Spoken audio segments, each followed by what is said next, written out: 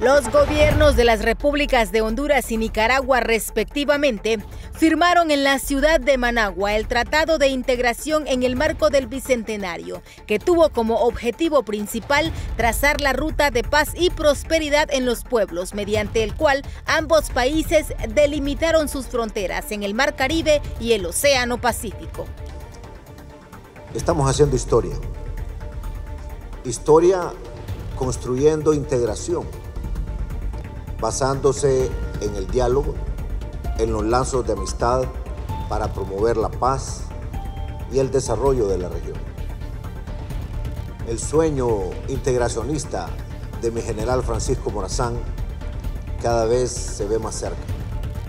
Los gobiernos de Honduras y Nicaragua firmamos este tratado integracionista en, el marco del Bicentenario. Vean ustedes que tiene como objetivo principal trazar una ruta de paz, prosperidad para nuestros pueblos. Firmando este documento, Honduras y Nicaragua reconocemos nuestra frontera en el Golfo de Fonseca, ratificando lo que ya se dijo en el fallo dictado en 1992 por la Corte Internacional de Justicia de la Haya.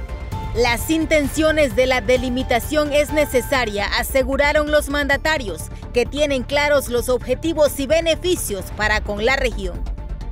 Las partes reconocen, aceptan y acatan la sentencia de la Corte Internacional de Justicia del 8 de octubre del 2007, que estableció la frontera marítima en el Mar Caribe entre ambos países y además fijó el punto de inicio de las coordenadas y aquí el número de las coordenadas, también instó a las partes a negociar de buena fe la línea de delimitación de la porción de mar territorial remanente entre el punto de la frontera terrestre establecido por el auto del rey de España en 1906 y el punto de la frontera marítima establecido por la Corte. El jefe del Estado hondureño garantiza la confraternidad entre naciones e insta a no perder de vista lo que los une. Pero creemos que el puerto de Amapala, que la sentencia de la Haya se la reconoce a Honduras, ahí en Amapala tenemos aguas más profundas y podemos construir ese canal seco que será para el desarrollo no solo de Honduras, sino de las Américas. Tengan confianza que el pueblo hondureño es hermano del pueblo nicaragüense. Y así lo sentimos nosotros.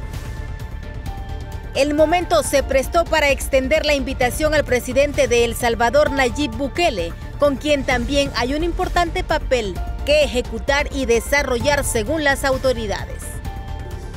Nosotros invitamos lógicamente al gobierno de El Salvador a sumarse a este esfuerzo, eh, porque El, Salvador también está en la obligación de ponerse de acuerdo, eh, en este caso pues, con, Honduras para delimitar. Eh, los tres tenemos, eh, en el Golfo tenemos acceso al Golfo, los tres países. y los tres tenemos salida hacia el mar. Y eso hay que delimitarlo.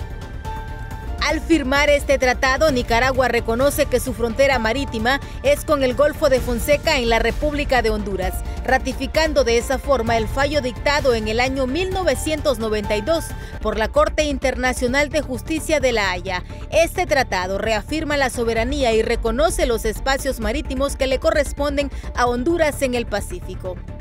Esto además, según el presidente de Honduras, Juan Orlando Hernández Alvarado, permitirá concretar la estrategia logística que se ha venido desarrollando para enfrentar el futuro de una manera competitiva y con visión para convertirse en el centro logístico regional y del continente. Con las imágenes de César Reyes y la edición de Joseph Maradiaga para HCH Noticias, Fanny Zúñiga.